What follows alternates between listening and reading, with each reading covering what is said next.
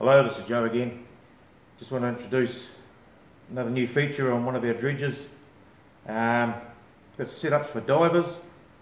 Now any of the divers watching, if there's something better that can be done, please feel free to make suggestions and make changes.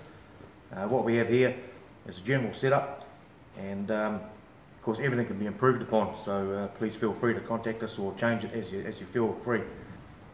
Now we've got the standard jetting set up here uh, head down the end, multi-holes for blasting up hard clays and so on.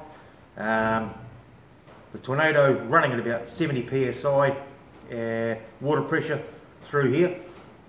Water pressure is taken directly off the water pump. This is the top of the water pump and plumb straight into the, uh, the existing fitting.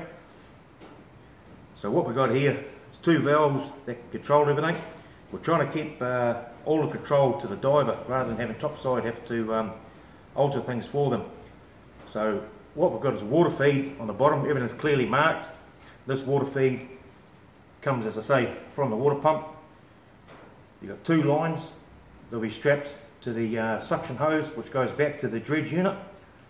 Now these two lines, as say, one of them is the water feed in and the other one is going to be water feed that goes back to the reversal valve what that does, when you close it, this way, redirects the water and goes through, back this way, back to the reversal valve. So it's non-hydraulic. Well, this hydraulic uses water, but there's no um, oil hydraulics used or topside hydraulics needed to operate the reversal valve, which is quite handy. So everything's in control for the diver here. The diver can, effect, in effect, turn the dredge on and off halfway, if they like, by um, altering the uh, amount of water that goes to the reversal valve. So as I say, alter that through there, puts the reversal valve on, flows backward, back flushes the, uh, the dredge, and away you go. So you can turn that back on, continue operating as normal. You can turn the jetter on or off, entirely up to you. Um, and that water can just be staying, building up ahead if it likes, doesn't have to go anywhere. You just turn that on and off to turn the reversal valve on or off whenever suits you. Um, handles here, again, they can be shifted around to whatever suits.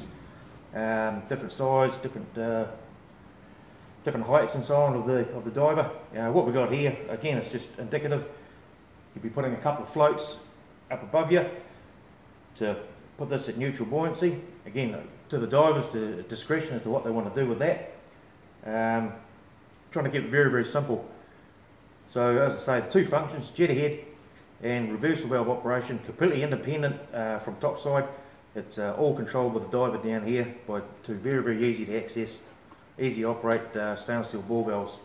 But again, as I say, everything can be improved upon. So if you've got some ideas how to change things, you're the divers, you're the clients, uh, please let us know and um, be happy to make the changes for you. As I say, this setup is for the Tornado. Uh, that makes about 28 inches or 97 kPa vacuum. To our knowledge, nothing even comes close to uh, that much vacuum. So it's a lot of, uh, of suction on this thing and uh, a very, very powerful dredge. So um, please let us know if you have any questions. Thank you.